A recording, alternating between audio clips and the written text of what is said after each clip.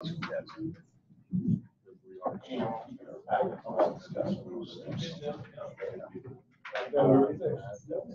evening, everyone. It Looks like it's uh, five thirty, so we'll go ahead and call this meeting in order. We'll begin with the invocation. Andy, can you help us out? God, we'd like to ask for your guidance and wisdom as we make decisions to impact our city tonight, next week, and as far as we possibly can. With guidance and wisdom, amen. pledge allegiance to the flag of the United States of America and to the republic for which it stands, one nation, under God, indivisible, with liberty and justice for all.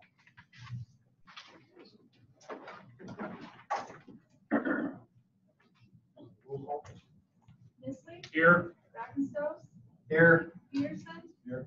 Lucas, Here. me, Here? Harmon. Here. Rieker, Here. Ostendorf. Here.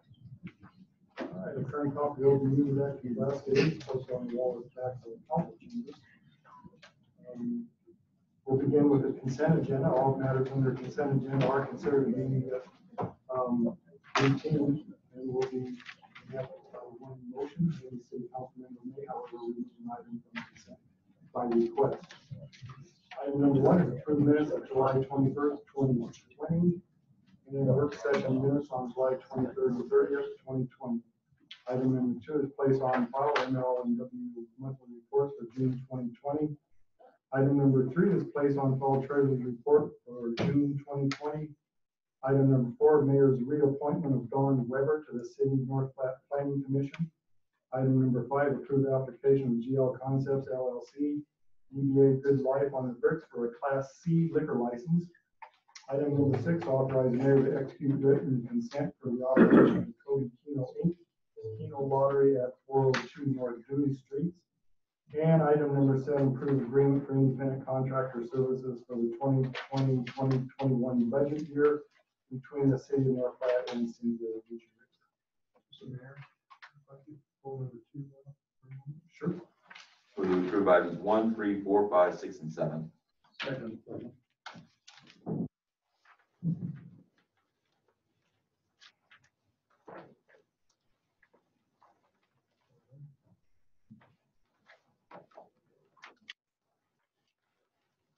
Question on the, uh. We got to go we- We're still on.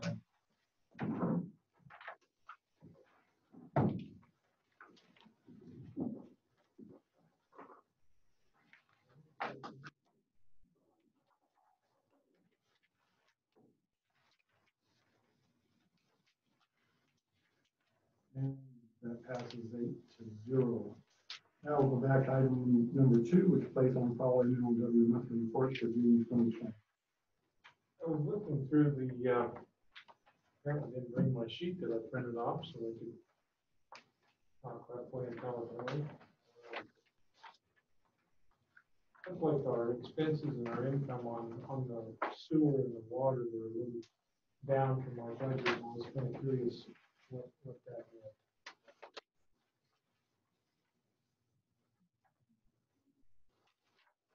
We might need your help here. So, um, as, as far as what that is, our budget numbers, um, you might have to get on the speaker, so.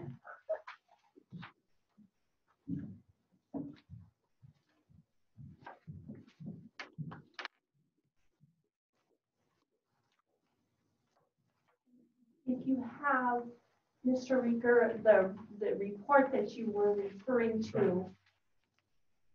Okay, um, so the, the reports that we provided re- reflect, um, this year compared to last year for the month of June as well as year-to-date.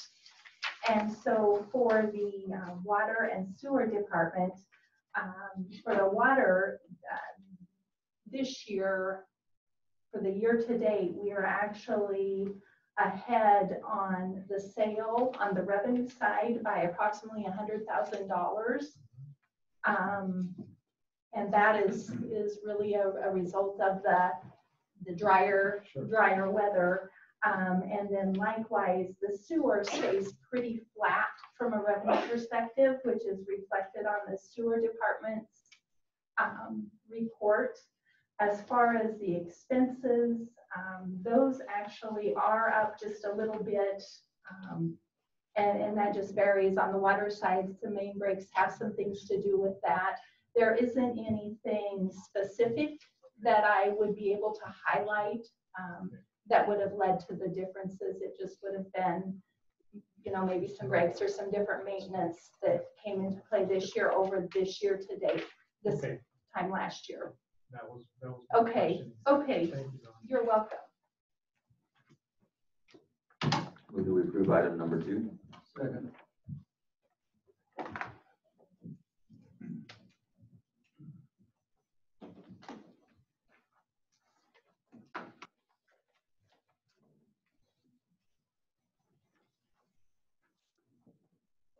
And that motion passes. Thank you. Reg- Regular agenda. Uh, Item number eight is public hearing and action on the community, community development block grant program, CDBG. 2020 Public Works category application for a CDB, CDBG eligible project. in North Platte and approved resolution will authorize the submission of the application and supporting documents to the Nebraska Department of Economic Development.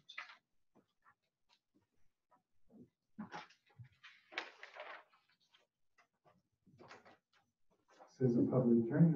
If anyone wishes to speak. Mark Woods, nine oh two North Henry. My house sits on Ninth Street. Uh, I appreciate Mr. Given and, and the engineer, engineering department going out and taking a look at this.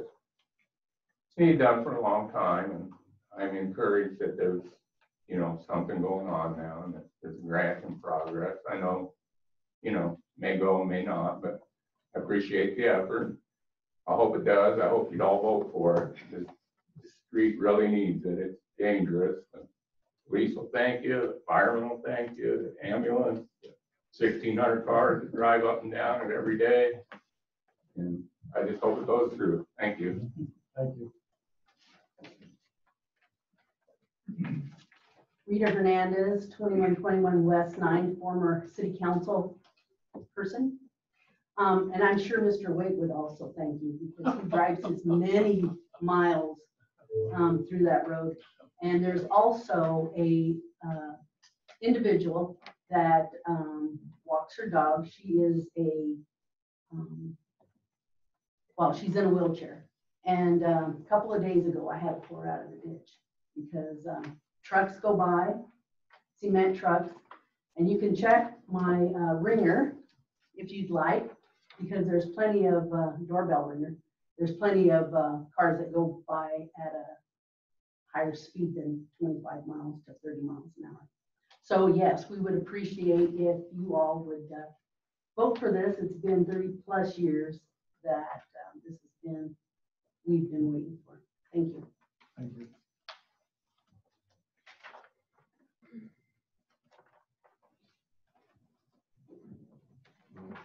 Moving comment, Mr. Moore? Sure. I'd like to uh, thank Mr. Gibbons uh, and Brent for going to bat on this. uh, in, uh, On behalf of my constituents, uh, this has been a major issue out there. And uh, I just want to thank you for the efforts you put forth and and the willingness to go take a look at it and uh, apply for the, for the community block grant. And as Mr. Wood said, hopefully it will pass and we can have the street. Thank you.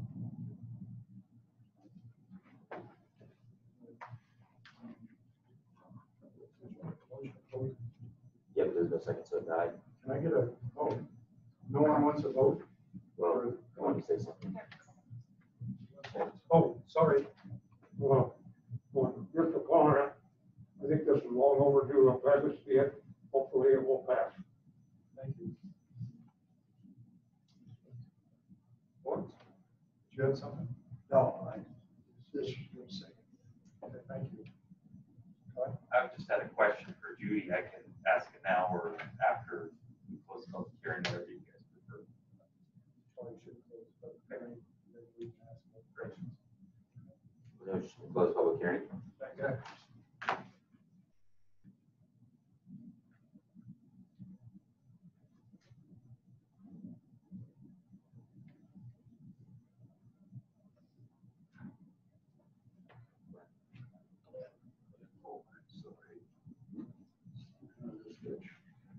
Public hearing's been closed. Now move that we would, uh, take, adopt the action of the Community Development Block Grants, uh, twenty twenty Public Works category application for a CDBG eligible project in North Platte and approve resolution authorizing submission of the application and supporting documents to the Nebraska Department of Economic Development. Second. Uh, Judy, just a quick question for you, and I'm, I'm in favor of getting this done on Ninth Needs done, but one thing that caught my attention was the grant as a percentage of the total project, it was a little lower than what I thought it would be, maybe compared to some others we've had in that general area. And so how does the percentages el- eligible for grant get determined? And will, does this go ahead and bind us now to making that one point three million dollar commitment? Or how, how does the, what kind of funding commitments are we making at this point in time? They have a limit on the amount that you can ask for. Okay, Um, four hundred thousand is the top plus twenty-five thousand in administrative fees. We generally don't ask for administrative fees, but in this one I am. Um, it does only show the four hundred thousand, but that was before I realized that they did allow for an extra twenty-five thousand for, um, administrative fees, so we will also ask for that. Um, as far as a match goes, the higher your match, the more you're gonna score on the points for actually getting. Um, this is a two-phase project, so we just took half of what the total cost would be and use that as our matching fund. We're not hundred percent obligated towards that because we're gonna meet the maximum match would be a one-to-one. So we're gonna score hundred percent on that match, being that we're gonna put in four hundred thousand. But to show them an extra match is good, that that won't tie us to that one point, what is it, one point two million, that's not gonna tie us, we're gonna have to match the four hundred thousand. Okay. and so the reason it might be a little smaller as a percentage is that it's just a bigger project. It's just a bigger Okay. project. It's a different category. Some of the categories, we haven't done a public works one in years. Um, most of them that we've been doing are comprehensive community revitalization, and so those are a little bit different. They've discontinued that program. So this is the first time that we've done a public works pro- program in probably about fifteen to twenty years. Thanks. So it's a little bit different. Yep.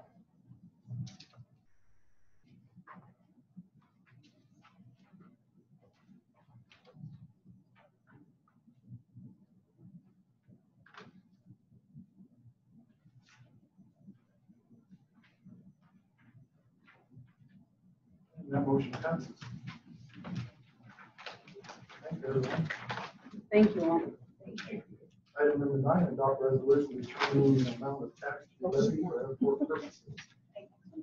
Move we adopt the resolution, uh, determining the tax to be levied for airport purposes. Second.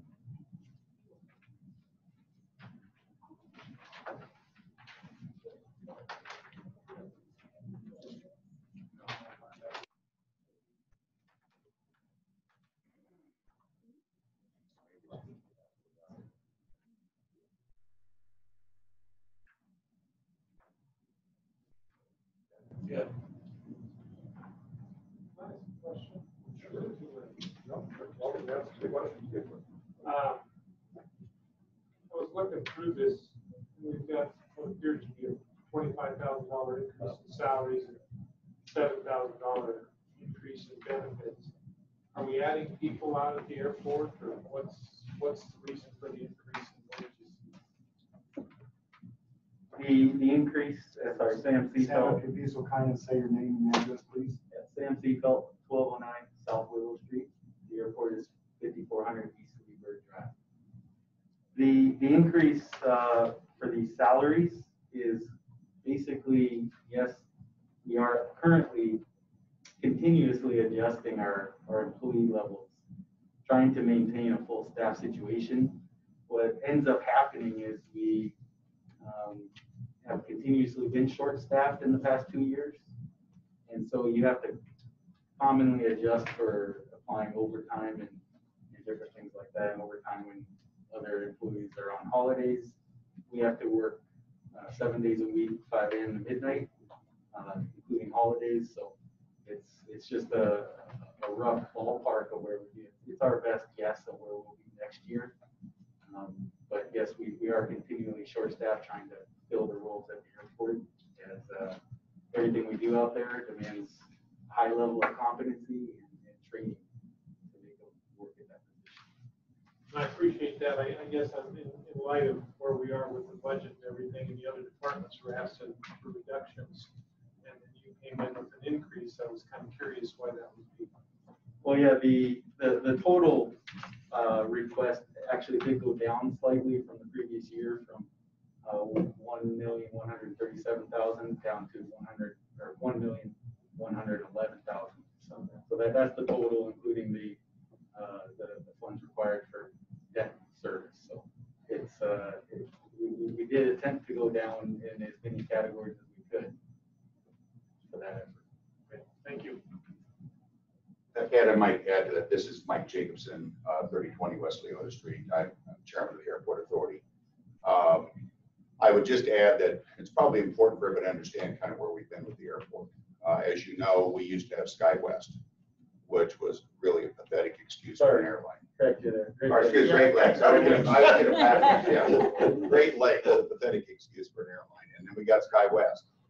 And when you start looking at the emplanements, okay, that we're doing today versus what we were doing before, just keep in mind that besides the fact that we have reliable service now that's, that's coming in with that late flight, that early flight, that's causing a need for additional employees to be able to staff that wider range of flights coming in and out that actually are carrying passengers, okay? Coupled with that is keeping the runways open. Uh, Sam's, and Sam's been here, um, we always keep the runway open. We're out there on the front end of a snowstorm, during the snowstorm, and we're keeping the runways open, so we're not having canceled flights. And so it's also there, there for general aviation. That wasn't necessarily always done in the past. Uh, the other thing is that when you look at the number of passengers coming through the airport facility, much more maintenance and so on that has to occur as well with that. I would tell you that this is a net number. If you recall, Cherie was out there as our assistant manager for many years, and Mike Sharkey was the manager. Uh, Cherie has since retired. Sam's come in as the, as the new manager, replacing Mike. And then we've continued to beef up staff uh, and cross-train everybody so that we can have everybody trained on fire, uh, everybody trained on, on running all the equipment.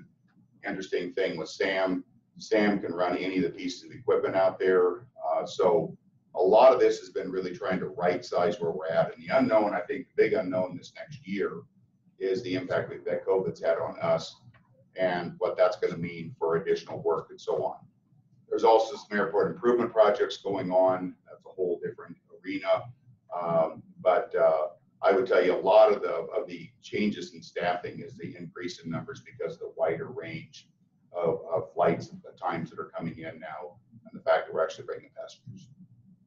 Thank you for making that correction.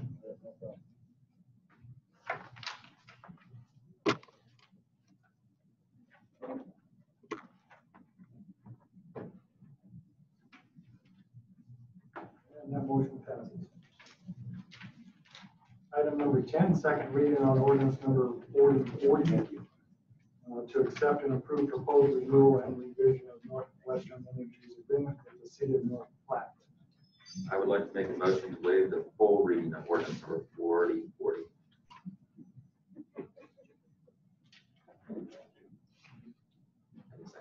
Second. Okay.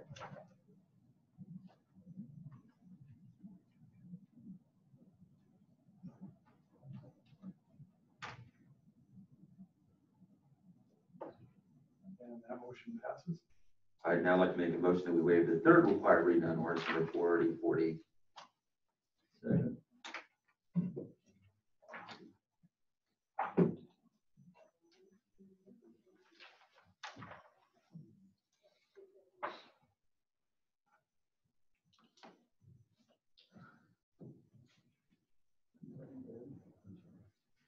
that passes as well. Item, item number 10. Oh, We're sorry. gonna pass it now. Now I move that we adopt ordinance number forty forty. Second.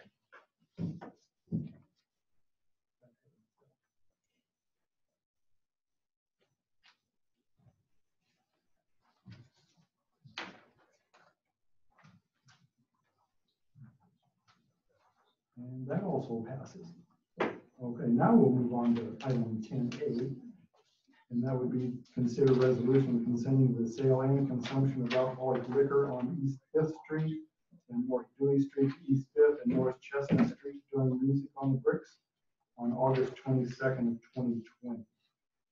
I move that we approve the resolution, resolution consenting to the sale and consumption of alcoholic liquor on East Fifth Street and North Dewey Street to East Fifth and North Chestnut Street during music on the bricks on August twenty-second, twenty twenty. Yes, sir. I beg your pardon? This here, No, we- sure. Why wouldn't I read this? Go ahead. I just wanted to, I have a comment that I, I think it's great that you guys are doing this. Uh, in- In spite of the, the streets being torn up downtown, you guys went ahead and did it. And, uh, you didn't let the virus stop you. And I appreciate that probably more. And, uh, so, thank you. Anybody got a question after that? My question is just to go back for the city side. You know, I talked about it in the past. Is there a way to make like a, a district like this where they constantly are doing these the Prairie Arts Center, Espresso Shop, and some of these other entities, that it could be more permitting process versus them having to come in here and, you know, pass a resolution each time, you know, like an entertainment district, like some communities have done. I don't look at it. I, we could look and see what other communities have done. Well, It's they, a nice purchase. yeah, I know. I'm just curious for futures. That way it can be expe- expedited for some of these groups, you know. More administrative than I think it still takes the same amount of time. You're still gonna have to vote on each one of these. We do not. Or each location would have to get a, a- a state-approved liquor license for the use. So they would, this allows them to use, if they're only using it occasionally, to get a, a permit for that occasion. If they otherwise, if you're gonna do like a blanket, you would have to, each location, I believe, would have to go and get their own uh, liquor license. Okay, that works then. Chief, does the, the caterer's license, like we were looking at on the other item, does that, that provides them some more flexibility on that, doesn't it? Yeah, if the To a cater, if- certain if a number of caterer times. comes in, they can, you, they can piggyback off of their license for their, to be able to sell liquor. So, but then I think they'd still come coming forward and get the approval of the city to be able to do that. They would just hold all the liability on the liquor side of it, but, um, whether you'd have to approve each one, I don't know.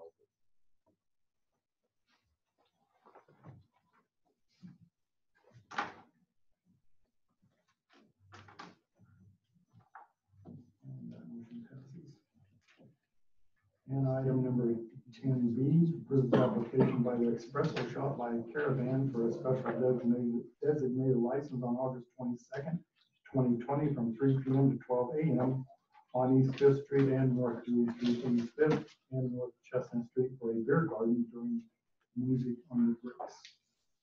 I move that we adopt the, uh, or that we approve the application by Espresso Shop by Caravan for a special designated license on August twenty-second, twenty twenty, from three P M to twelve A M on East Fifth Street and North Dewey, uh, to East Fifth and North Chestnut Street, uh, for a beer garden during music on the bricks.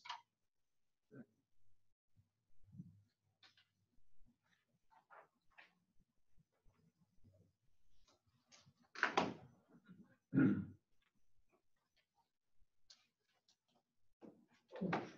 about that. And that motion passes as well. Uh, and item number eleven is claims. Move that we pay the claims. Second.